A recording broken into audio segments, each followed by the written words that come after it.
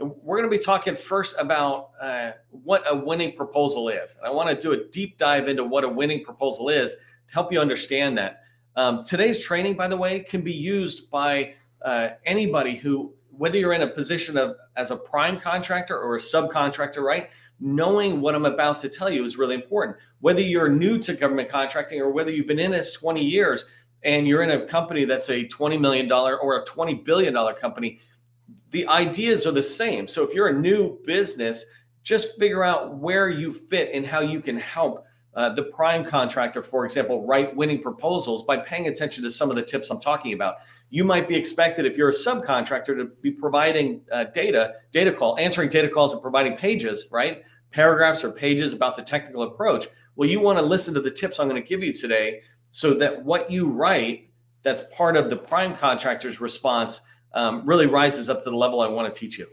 Uh, so I I did um, a lot of proposals. I, I spent 20 years as a small business owner in the federal market, and I wrote almost every single one of the proposals myself.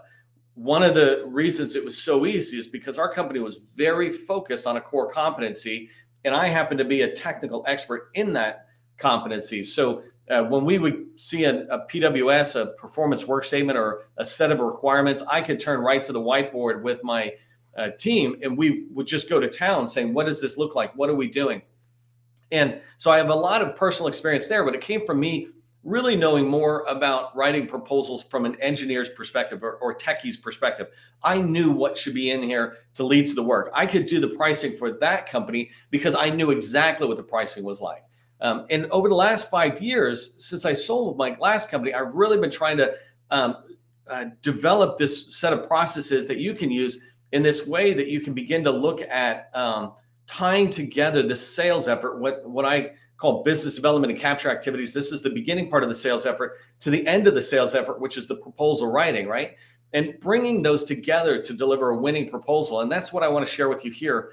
Um, some ideas about what a winning proposal is that I've discovered or that I've just documented. It's not like discovery is kind of a tough word, right? But that I begin to document in a way that's so clear to me, that's so clear to my customers when I teach them about it. But one um, main idea about what a winning proposal is is that it's a proposal that a contracting officer would be sure of um, their decision to award on behalf of the government. If you submit a proposal and it's a winning proposal, the contracting officer can look at this and say, if I awarded this to your company, I would have confidence that you're going to deliver well for my agency and the mission of my agency, right? That's a big part of what they need. And so fundamentally, that's what a winning proposal is. I'm going to give you depth on that. But the idea is that you want to write proposals that the contracting officer looks at goes, man, I wish I could award this to you. Uh, you know, but there's three companies that have winning proposals. I'm not saying how to write the very best proposal that beats out everybody else, right? I, I don't really have that knowledge, but I have a way of writing the best proposal for you that a contracting officer looks at it and feels bad they didn't award it to you right? That's what a winning proposal means to me at a very high level. So, first and foremost, when you think about what's in a proposal, um, a winning propo- proposal must be compliant, right? It must be compliant with all those shall statements. And so, uh, to me, I call this the ante of getting in the game. If you're familiar with poker, you've got to throw in a, a couple dollars or something to get started in the game. They call it an ante. And I consider um, writing a compliant, any compliant activity in a proposal, writing a proposal to meet compliant needs is just the ante to get in the game. Everybody should be doing that. There's nothing spectacular about doing that, but you must do it, right? And so you can't have a winning proposal if your proposal is not um, compliant because they'll just swipe to the left and say, no, you're off. Uh, you're not compliant. You're not even in consideration anymore. And so the first thing is a proposal absolutely must be compliant. Do me a favor, just come along with me and put be compliant into the chat. So we're reminding ourselves what must be in this proposal or what a winning proposal is. Um, so be compliant in the chat. Second thing is it must be compelling, right? It must be giving the contracting officer and the technical review team great confidence when they look at this. And so when I talk about co- um, compelling, you want them to look at this and go, wow, these people really get us. They get our mission and what we're trying to do. They they get our requirements, um, where we're trying to go there uh, why we're doing this, why we're letting this requirement out, or why we're doing this activity within our agency, and how uh, you know your company will help them. And so you must be compelling in a way that gives them the confidence when they look at it. They're like, absolutely. If I award to this company, they can do the work, right? This goes into the criteria that you'll see in an RFP that um, how they, the evaluation criteria and how they look at it. But fundamentally, there's compliance and then there's compelling. And compelling is really that ranking of the um, evaluation criteria, whether they say you're satisfactory, nothing too compelling about satisfactory, or whether you know you're above satisfactory, whether you've just really nailed it. And that's what you need to be aiming for is how do we really demonstrate to them that in this section or this section or this section, um, we give them the confidence that we get them and that our solution is the right solution to meet their requirements. And so uh, put be compelling into the chat if you get that, right? Is winning proposals must be compelling in a way that's going to give the evaluation team, the tactical and the uh, acquisition folks, confidence in your proposal and in your ability to deliver. The next one is um, winning proposals must be persuasive.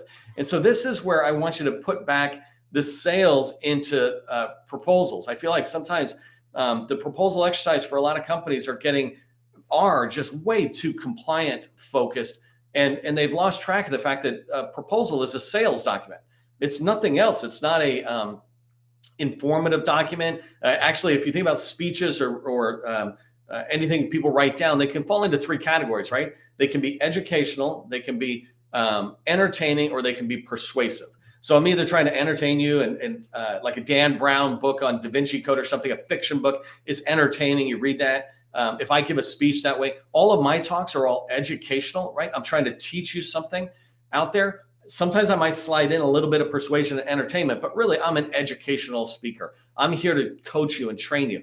And then there's persuasive persuasion, right? You're trying to convince somebody to go in a particular direction. Well, that's what your proposals should be. They should be persuasive, driving this uh, this um, driving the direction that your customer is going to take. Right? You want to be able to show them the transformation that they want. They're setting us. Uh, they're saying, "Here's a set of requirements." Right? But there's this goal they're trying to achieve, not just the stated objectives or something that's in an RFP, but what are they trying to do? Are they trying to have um, you know, when you think about what your solution can deliver for them, does it make their life so much better? I used to tell in my last company, I used to tell everybody in the staff, we don't just provide SharePoint solutions to the Department of Veterans Affairs, right? Um, we don't provide IT solutions to the Department of Veterans Affairs. We improve the quality of, of healthcare to veterans across America because of whatever we're doing it enables the providers, the doctors, nurses, et cetera, to be able to deliver faster, better quality care to the patients. And so that's what you want to think is like, where's that end game of the RFP you're responding to? Not just, hey, we provide SharePoint solutions. It's like, great, well, that's compliant. That's what I asked for. But it, when you're persuasive, you're showing them um, this idea of how your how your solution and your approach can help transform the quality of their service to wherever they're going to go, or the or the the ability to deliver their mission. Um, you also want to be able to, you know, when you think about persuasive, you want to be able to answer the question about why your solution is the right solution. Uh, I've heard this from contracting officers before, where they talk about uh, they they mentioned that uh, people will respond to them and they'll say, "We recommend this solution," but they don't come with the why. They're they're not persuading the reviewers on why this solution is the right one. And a very simple example of how you might be able to do that is to sit there and say, we recommend this solution over this other solution, which might be what your competitors are recommending or whatever. And the reason why is this, and, and kind of guide them to your decision on, on the best solution. Your company knows the best solution, but it's because you've spent so much time getting to that point, right? There's a reason I got to this point of saying this is what a winning federal proposal looks like but I need to walk you through that decision making process as well and help you understand why this solution is better than just a purely compliant solution. So, um, if you're following along with what I'm saying there, put be persuasive into the chat. Let me know you're tracking on that. Be persuasive. And the last one, and this is one of my favorite ones that I think um, I feel like I'm one of the only ones saying it, but if there's others, that's great. Um, but I want you to, when you think about a winning proposal, we're in a whole different world than we were last year, last decade, right? Um, and so always think about where you are today. I want your proposals. When you think about a winning proposal, I want you to think that it should be a page turner for the program office technical reviewers. Literally, I want you to think. It's like they're looking at this page, like, oh my God, what happens next? Right? It's like going forward. And you think to yourself, well, how can I do that? Well, if you're not doing that, then you're creating this really boring MITRE type like document that is just technically proficient and compliant, but you're not you're not pulling any energy um, from this reviewer. You're not doing anything except for them looking going, yeah, they address this, yeah, they address this. You want to be able to be, um, you know, going back to persuasion, but you want to be exciting for them. And, and I don't mean overly uh, Top Gun Maverick movie type exciting, but just enough where you're waking them up. And so you have a page turner of a proposal that um, puts the sales back into your proposal. You want them to turn the page when you're when they're looking at a solution or the or the way you talk about it. Here's an example: is my uh, when I wrote proposals, it was SharePoint migration as an example. I would say, hey, this is how we're going to work with your uh, stakeholder users, and we're going to rack and stack the applications they have in complexity. Um, three different levels. What are those levels? You know, you turn the page to find out, find out that next level. And I know I'm trying to put a little bit of uh, um, excitement into it, but I literally mean that because our attention uh, uh, spans are so small now, and we're looking for entertainment in all aspects of our life. It doesn't um, mean I want you to come in with a song and a dance, but I do want it to be engaging. And that's what I mean by page turner. Every page is kind of engaging me. I'm seeing you come in and working with me. And so I want to turn the next page and go, okay, and then what? And then what? Right? That's what I mean is really that then what. So put page turner in there if you're going to commit to uh, creating page turner proposals in the future.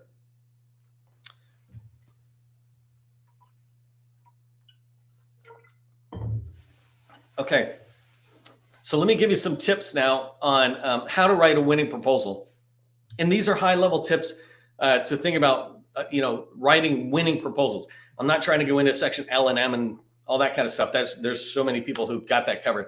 But an example of uh, a tip for how to write winning proposals is begin with the end in mind. And Stephen Covey is has this as one of his seven habits of highly effective people is begin with the end in mind. And so if you look at the end and you say, I want to write a winning proposal. We want to write a winning proposal.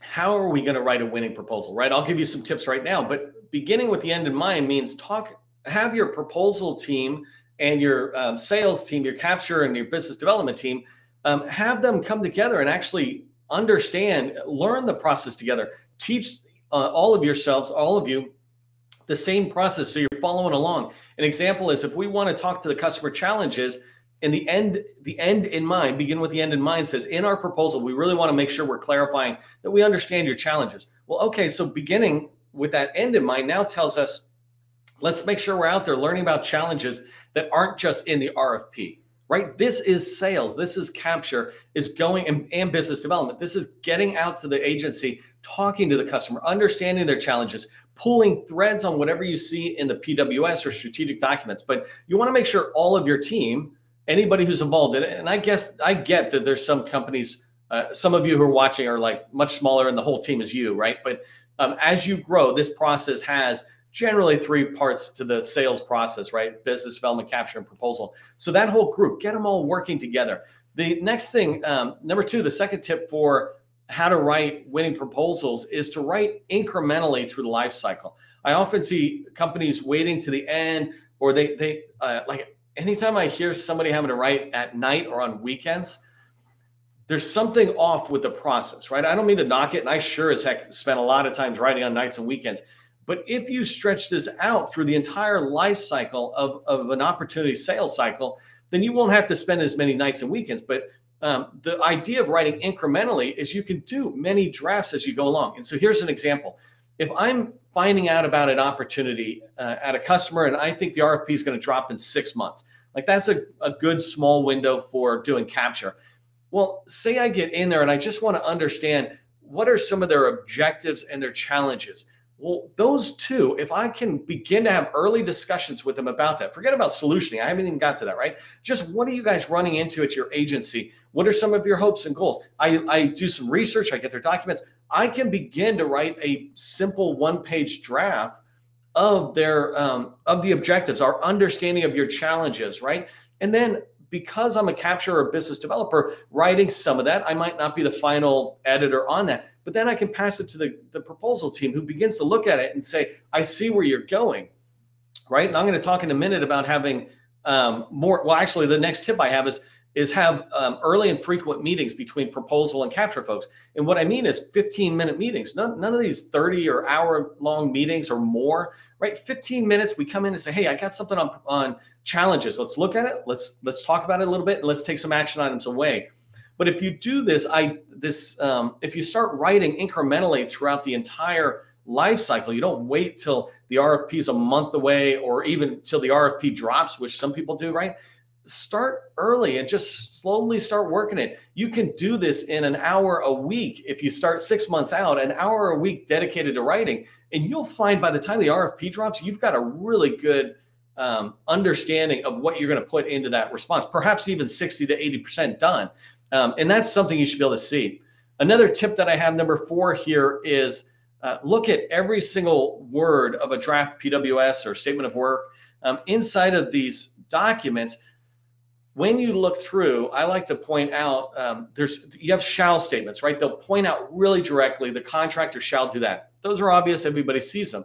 But as you read through the words and you begin to understand what each sentence is talking about, you'll be able to uncover um, a problem statement and an implied solution statement. So in a problem statement um, might be defined, or you know, could be an implied problem. But when you read a sentence and they say, "Hey, we want our servers to go faster," why are your servers not going fast enough now?